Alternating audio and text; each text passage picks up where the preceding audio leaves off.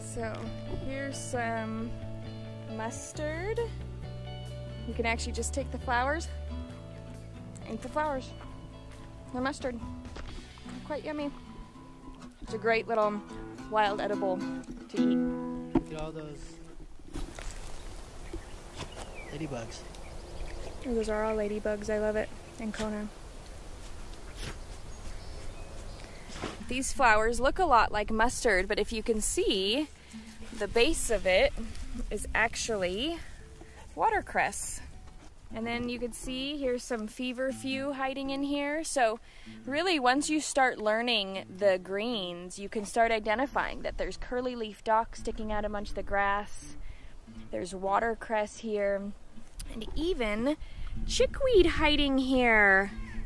Look at this little chickweed. The Herb Fairies books are a great way for adults and kids alike to learn wild edibles.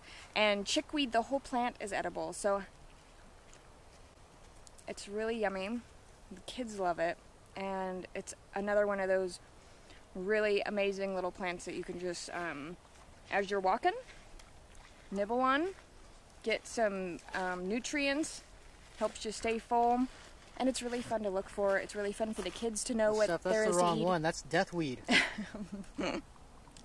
He's being funny. He actually doesn't know very many wild edibles.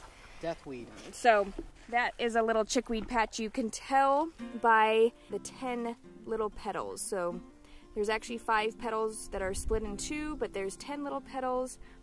And that is how you will identify chickweed.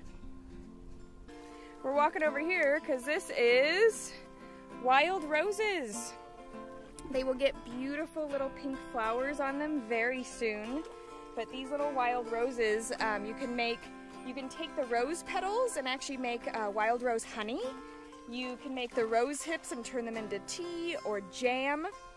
So, wild roses, um, and I believe if you don't put anything, if you treat your roses in your own garden without any pesticides or herbicides or anything, um, and they're completely organic, you can also use those. But I think you have to wait about, I think it's like seven years from using pesticides or herbicides before you want to eat them because they actually stay in their system for that long. There is some mugwort right there. And there's feverfew in here too. There it is. It's hiding down in there. There's watercress. If you can start just seeing, like, there's not just one plant in this hodgepodge, but this is really what is so beautiful about nature. It's not just one thing growing here, but there's wild rose and curly leaf dock and mugwort and watercress and feverfew and it's all just in a hodgepodge together, growing so beautifully in what looks like just this huge field of green. But once you start looking at it, you can start identifying how intricate all these little things are. So, this tree right over here is willow. That is a willow. You can tell by these little, like, I call them willow caterpillars. I'm actually not quite sure what the real name is for them. Ooh, what'd you find there? Muck. Muck. I love it. Some good muck. Okay, this little doozy right here. We love it. This is pineapple weed. And you know it's pineapple weed because of the shape. It has the same head on it as chamomile.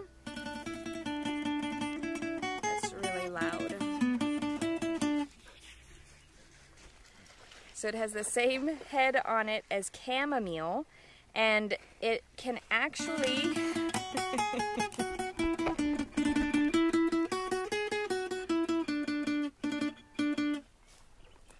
it can actually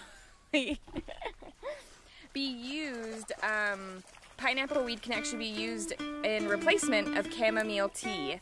Um, and the reason it's called pineapple weed is because if you squeeze or press this little bulb head, the cone of it, it smells like pineapple. Um, this loves like school fields, dry, arid places.